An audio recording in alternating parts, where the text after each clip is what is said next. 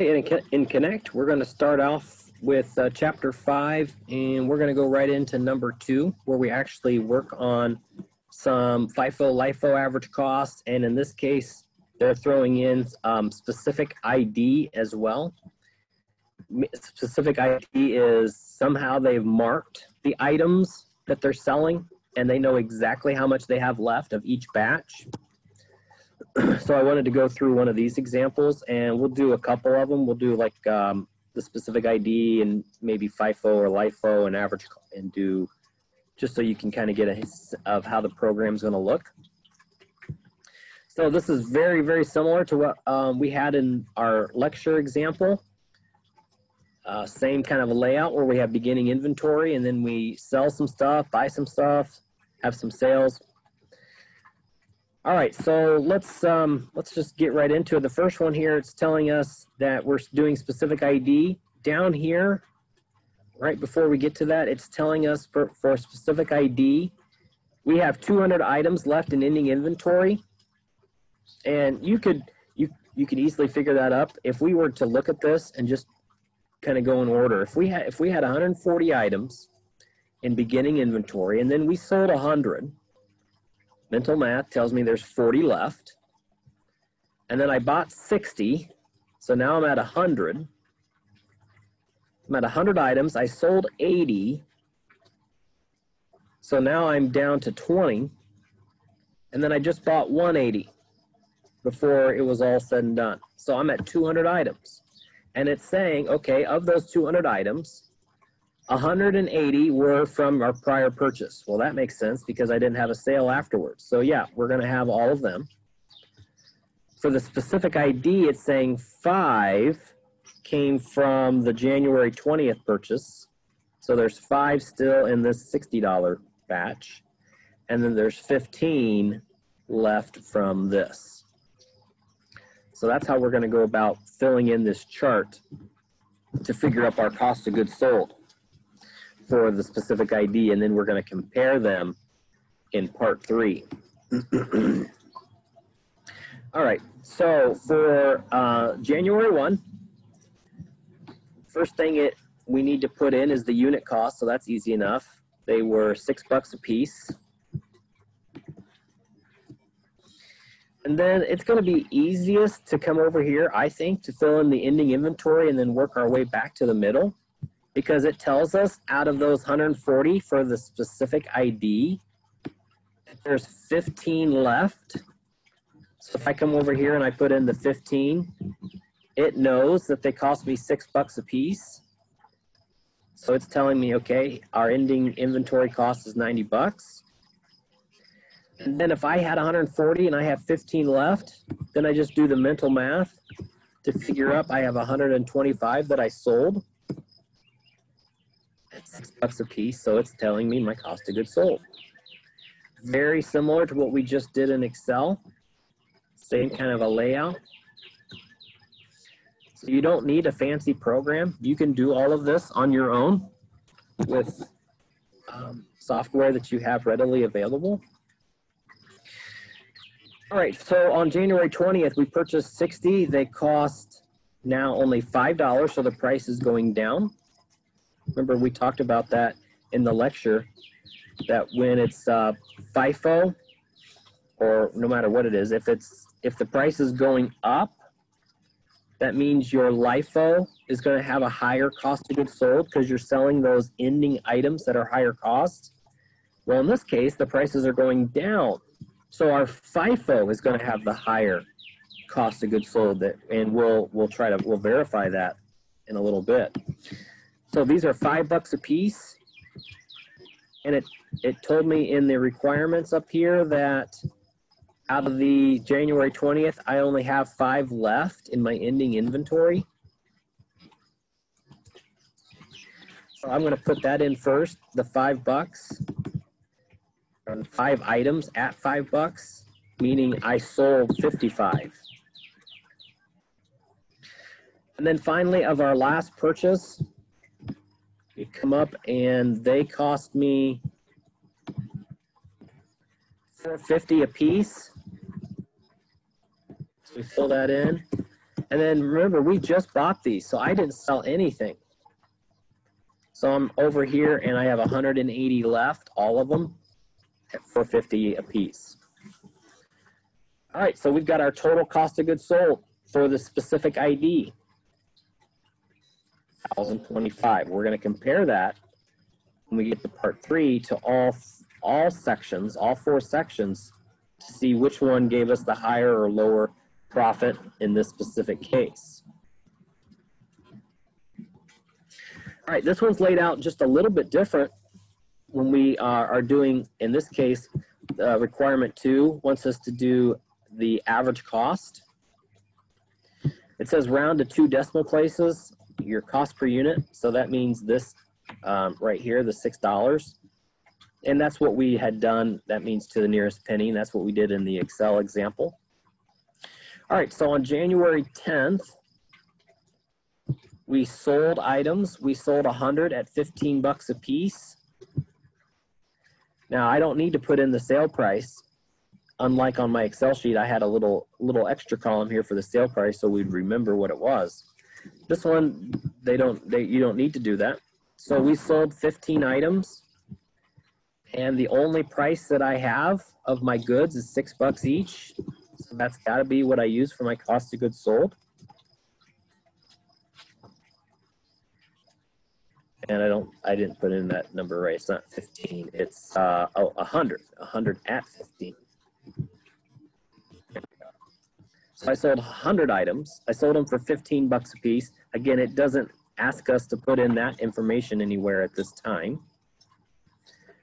And then what I have left, I simply have the 40 items that are left, 140 minus 100 at six bucks each.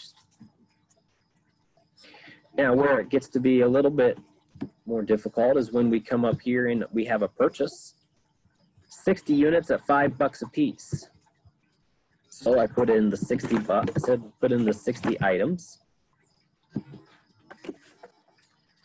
And they cost me five bucks a piece. So look at, it's actually filling in a lot of this for us. It's saying I have, these 40 have just been brought down. These 60 they're putting it over here in the ending. Um, they're just taking an extra step that we didn't do in Excel. They're just, instead of doing mental math, 40 plus 60, they're physically putting it over here so you can see it adding up. So there's 100 items, and then they simply want us to put what it is. And so that's where you'll just want to bring up your calculator. $540 and we can do this one in our head, but I'll put it, I'll put it out here. $540 divided by 100 units. So that comes out to be $5.40. Remember, it says round to the second decimal place. So that is my brand new um, average cost. Now on January 25th, I sell 80 units here, 80 units. And then my average, the cost of those 80 that I'm trying to figure up was $5.40. It does the math for me. That's nice. And so what I have left, I had 100 minus the 80, so I have 20 items. Those 20 items cost $5.40.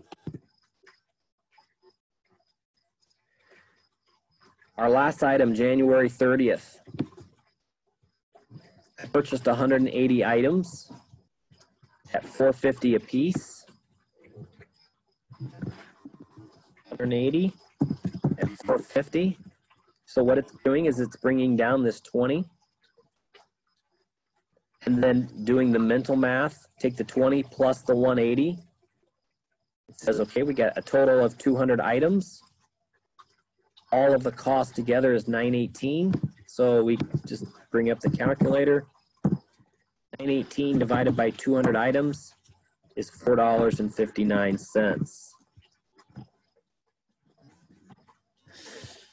Now we could compare between the first two, 1,032 cost of goods sold and 1,025. So right now, the one that's going to give us one that has the higher cost of goods sold is the average cost, not by much, seven bucks. Has a higher cost of goods sold, that means it's going to have a lower income or gross profit.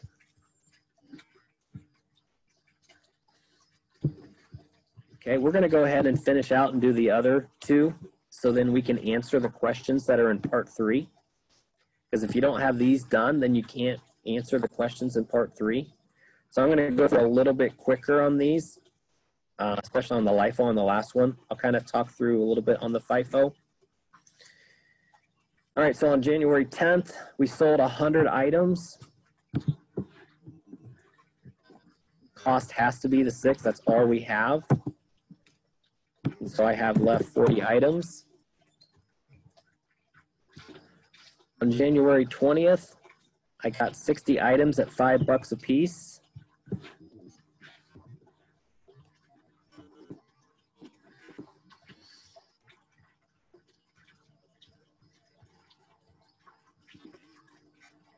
Oh, sorry. Yep. 60, 60 units at five bucks a piece. So it's saying, okay, what do we what do we need to do? We actually need to fill this in on the average cost. It filled it in for us. So we have 40 still at six bucks a piece. We now have 60 at five bucks a piece. It went ahead and added it for us. We don't need to do that. That's not essential in uh, FIFO. now on January 25th, I'm making a sale of 80 units. So using FIFO, that means I'm selling all of these at six bucks a piece. And then if I'm selling 80 units, that means I'm selling 40 more of this lower priced item. And then what I have left, I have zero of these and 60 minus the 40, I have 20 items left of that one.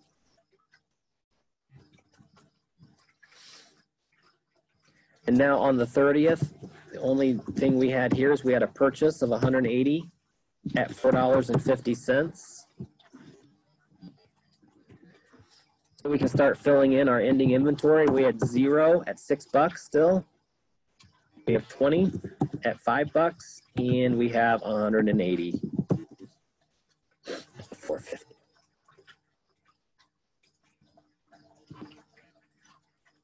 Okay, we can go ahead and go to our last requirement. January 1st, already filled in, 140 items. We're ready for January 10th. We sell 100 units. If I sell 100, they have to be at this price because that's all I have. So six bucks. I have 40 left. And then I make a purchase on January 20th. 60 items at 50 bucks. Not 50, but five. So I come over here, I still have the 40 items at $6. I have these 60 at $5. January 25th, I make a sale, 80 units. This time I'm selling uh, from the bottom first. Uh, out of the 80, I'm selling, uh, I'm selling all 60 of these guys. That means only 20 at this price. So what I have left is I have 20 items at the six bucks and nothing at the five dollars. And finally, simply come down here. We bought another 180. Remember, they cost me 450. Six bucks. I still have those 20 of those opening inventories. And like I said in the lecture, unless I ever completely run out of inventory, I'm always going to have something at the six bucks range just because they are going to be the last ones to ever sell. These guys are gone. I could take them out. There's no need. The software puts it in there because it wants to make sure you understand that. But if you were doing this in real, you wouldn't keep that zero at $5. And then we have the 180 that we just bought. Okay, now what you may want to do, instead of flipping back and forth all the time, write down the gross profit of these. So we had, I'll just do them in backwards order. LIFO cost of goods sold was a thousand and twenty.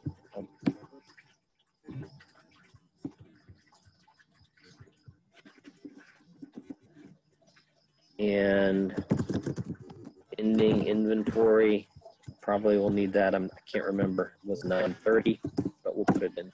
To Help us to answer the questions. Remember, the higher the cost of goods sold, the lower the uh, gross profit. So if we were this one, I'm gonna highlight this one. This one is our highest. This one is our lowest. All right, we should be able to answer the questions now for part three.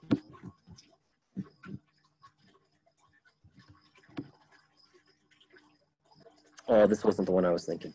That's okay. We can fill in this. oh, yeah, the questions are down here. Okay. So it's it's not thinking that we it's good that we did this. So we um, put some of these numbers out here. We don't have to keep flipping back. So when we fill in this income statement, uh, the uh, the sales, the sales out here, we sold 180 units, and both times they cost 15. So I can just take the 180 times 15 to see that I sold $2,700 worth. And the program knows that once they put that in, I thought it would. The sales are, are going to go the same. Some of the problems, they do that. They actually do that for whatever reason on this one. It's not set up like that. The sales don't change. Our sales number, the only thing that changes is the cost of goods sold.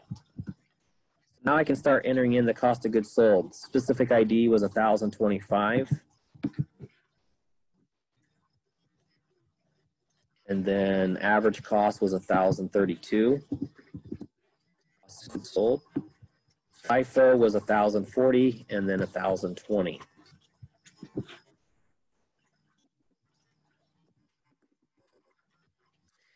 Keeping track of our running uh, gross profit. It's telling us here that assume that we had a thousand two hundred and fifty of expenses. Doesn't matter which method I use, I'm still gonna have the same electric bill, same uh, rent expense. So we just put in a twelve fifty all the way across the board.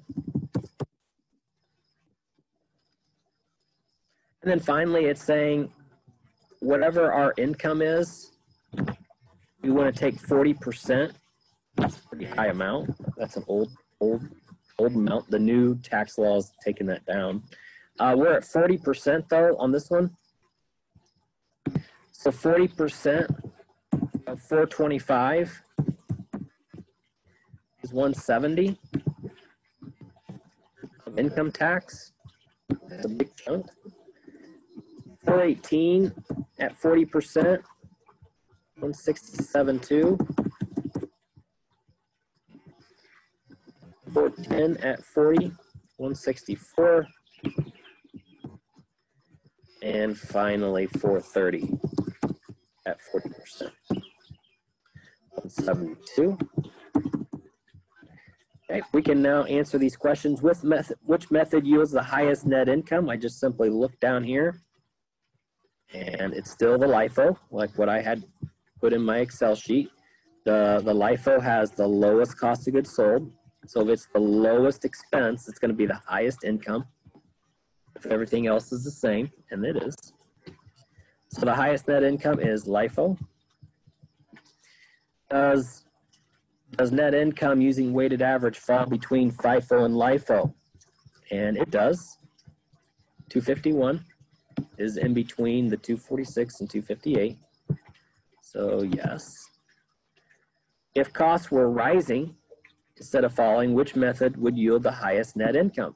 Well, we had talked about that, and it's going to be just the flipped. It's going to be the other one. It's going to be FIFO when prices are rising. All right, let's go ahead and check the work. And you see we got everything right and all the income statement correct.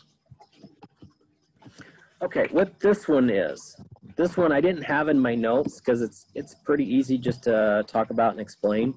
When you have inventory on your books, and if that inventory you bought it for 50 bucks a piece, but if the inventory either becomes outdated because newer technology is coming in, think of like if I'm still have on my books a VCR. And that VCR back in 1985, well, it cost a lot of money. It was 100 bucks. Now a VCR is going to be about $3. So I don't want to keep it on my books for 100 because that's overinflating my assets. That VCR does not will not get me 100 bucks or more than that, hopefully. So you always got to value your inventory at either A, what you bought it for, or the lower of A, or what is it worth right now. And so that's all that this is going to be doing. And we'll just do a couple examples. So with the helmets, it's saying, okay, total cost. If I have 24 items and they cost me 50 bucks a piece, that's uh, $1,200. Whereas the market right now, I can sell them for $54, so that's not much mark. That's not much of a markup, but at least it's better than what I bought it for. At 1296.